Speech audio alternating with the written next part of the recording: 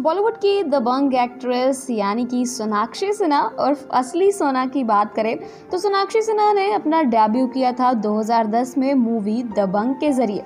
जी हाँ दबंग में वो सलमान खान के साथ हमें नज़र आई थी रज्जो के किरदार में, और उस किरदार को ऑडियंस ने काफ़ी ज़्यादा पसंद भी किया।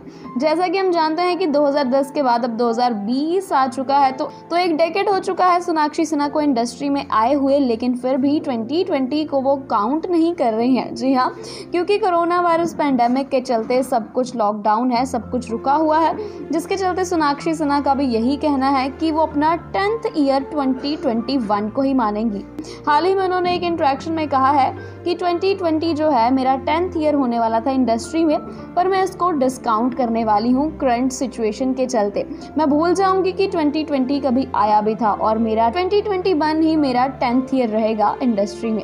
आपको बता दें कि सोनाक्षी सिन्हा ने 10 साल के करियर में 25 तक फ़िल्में दी हैं। जी हाँ करीब 25 फ़िल्मों में काम किया है सोनाक्षी सिन्हा ने और इनमें दबंग के तीनों पार्ट शामिल हैं। इसके अलावा उन्होंने अक्षय कुमार और अजय देवगन जैसे कई सुपरस्टार्स के साथ काम भी किया है।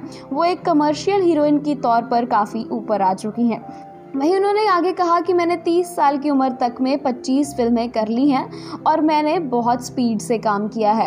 उन्होंने कहा कि मैंने अपने ट्वेंटीज़ मोस्टली काम करने में बिताए हैं और जहाँ मैं आज हूँ प्रोफेशनली वो मुझे पसंद है।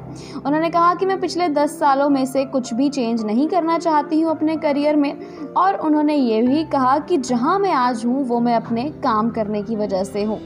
और कहा कि हर कोई कमर्शियल एक्ट्रेस ही बनना चाहता है और चाहता है कि उनकी फ़िल्में बॉक्स ऑफ़िस पर कमाई करें, वरना हम ये सब करते ही क्यों हैं? उन्होंने कहा कि मेरे साथ ऐसा पहली फ़िल्म से हुआ था जब से मैंने दबंग में काम किया। तब से मैं quintessential commercial Hindi actress के तौर पर उभर के आई हूँ और आज भी मैं अपनी जर्नी इंजॉय कर रही हूँ और आगे भी करूँगी। आपको बता दें कि हाल ही में हमें सोनाक्षी सिन्हा, दबंग थ्री में नज़र आई थी, जिसमें कि उनको एक बार फिर से ऑडियंस ने बहुत पसंद किया। उनका रज्जो का किरदार ऑडियंस को बहुत पसंद आता है और सलमान खान के साथ उनकी केमिस्ट्री भी काफ़ी अच्छी रहती है। So that's for now for more updates keep watching Google Bollywood